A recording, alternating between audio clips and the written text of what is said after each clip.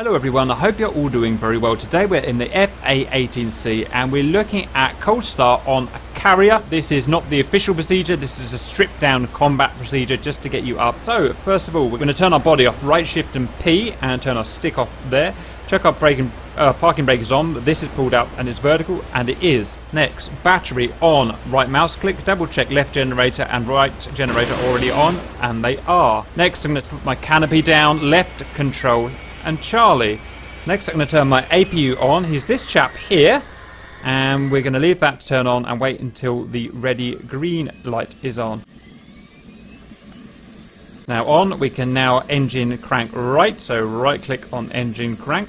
When this chap here gets up to 25%, we can right shift and home to uncage the right throttle. Now at 25%, right shift and home, We've now got the right throttle in idle. Next, we wait until the speed of the engine here is up to 60% RPM. When it is, we are going to do a full right revolution of the bleed air here, which is absolutely essential, and we are not quite there yet. Okay, so right click, right click, right click, right click. Next, we're going to turn our HUD on.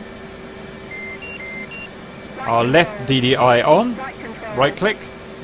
Right DDI, right click, and our AMPCD like that. Leave them to warm up. Next we can crank the left engine, so left click.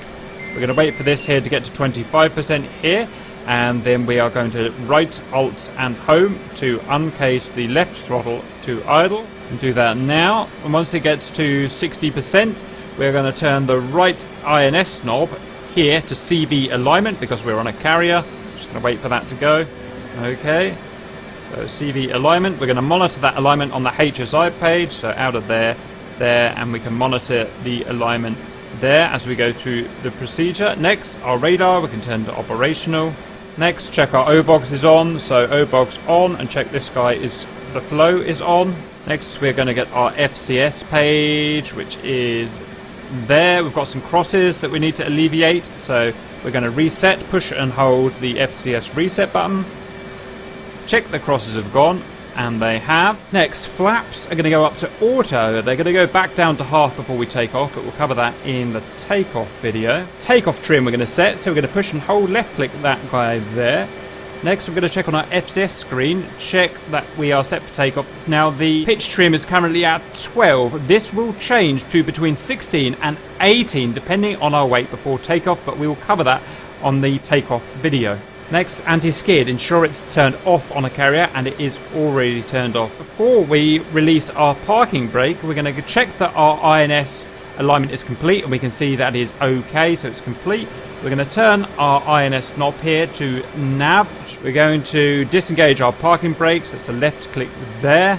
We're going to uncage our backup ADI, so we're going to scroll it or right click, that's uncaged now. We're going to look at the attitude source for the HUD, you can INS auto or standby, we want to check it it's an auto, and that is currently in the middle position, which is auto. Down here, ejection seat arm.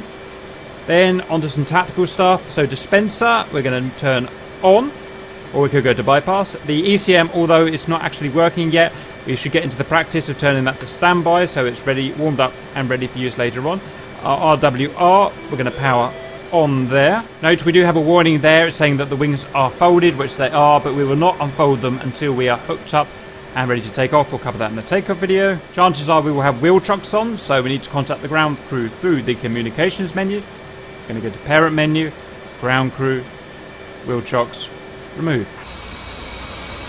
That's us ready to taxi and take off. We will cover taxi, trimming, hookup, and take off in the takeoff video. I hope that was useful and see you later.